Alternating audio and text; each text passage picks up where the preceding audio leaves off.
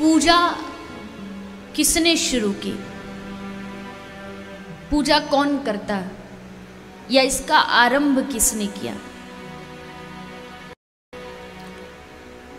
तो बड़ी सुंदर बात कही कि पूजा उन्होंने आरंभ की, पूजा करना उन्होंने शुरू किया, जिनको प्रेम करना नहीं आता था। पूजा का महत्व नहीं है। मेरे कहने का अर्थ ये बिल्कुल नहीं है। पर बात को समझिएगा। अगर समझोगे नहीं तो बात पूरी एकदम उल्टी समझ आएगी।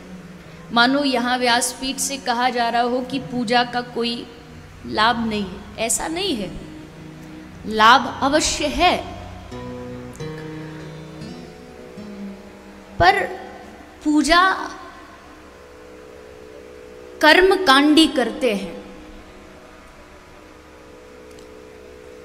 और जो भक्त होता है, वो प्रेम करता है। अब पूजा और प्रेम में क्या फ़र्क है? पूजा ये कहती है कि पहले स्नान होना चाहिए, पहले नहाइए और फिर भगवान की आरती करिए और फिर भगवान को भोग लगाइए। पूजा का ये विधान है। पूजा कहती है, पहले स्नान, बाद में भोग। पर प्रेम क्या कहता है?